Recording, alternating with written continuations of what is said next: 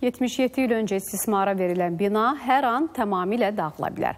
Amma qəzalı yataqxana binasında yaşayanlar var. Qorxa-qorxa hər anları təşviş içində yaşayırlar. Bina sözün həqiqi mənasında tədricən dağılır.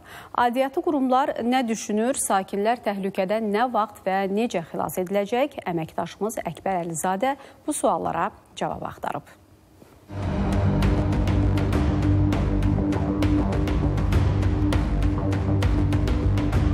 Nərmanov rayonu Nazim Hacıyev altı ünvanında yaşayan sakinlər hər səhəri diri gözlə açırlar. Buna səbəb artıq uzun müddətdir ki, qəzalı vəziyyətdə olan binalarının uçma təhlükəsi ilə üz-üzə olmasıdır. Binanın fasadı kimi içərisi də bərbad vəziyyətdədir. Hətta binanın içərisində salamat dörd divar belə yoxdur. Yaxın zamanlarda hətta mənzillərdən birinin tavanı uçub, xoşbəxtlikdən ev sahibi evdə olmadığından xəsarət alan olmayıb. Yataqxana binası 1947-ci ildə inşa edilib. Hazırda binada 105 ailə yaşayır. Sakinlər deyir ki, qorxu içində yaşamaq bir yana yağış yağanda dərdləri 1-ə 5 artır. Binanın tavanından yağış suları evlərə dolur. Məcbur olub mənzillərinə qablar düzürlər. Bina hardasa axırıncı 7-8 ildir də.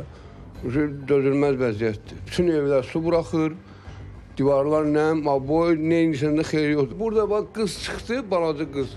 Bu pasoluk hamısı gəldi yerə dağıl töküldü. Yağış damır evlərə. O tərəfdə çıxın yuxarı dördə. Vedrə ilə daşıyıb tökürlər. Yaşamaq mümkün deyil də. Çıxıb tökülür hər yeri. Çox adam buradan köçüb gedib yaşamır. Məsələ ilə bağlı 114 saylı Mənzil Kommunal Təsərrüfat Birliyindən bildirdilər ki, Yataqxana Fövqəladə Hallar Nazirliyinin xüsusi aktına əsasən qəzalı binalar siyahısına salınıb. Amma binanın nə vaxt söküləcəyi ilə bağlı hələ konkret qərar yoxdur. Əkbər Əlizadə, Sənan Kərimli, Məhəmməd Hacızadə, ATV xəbər.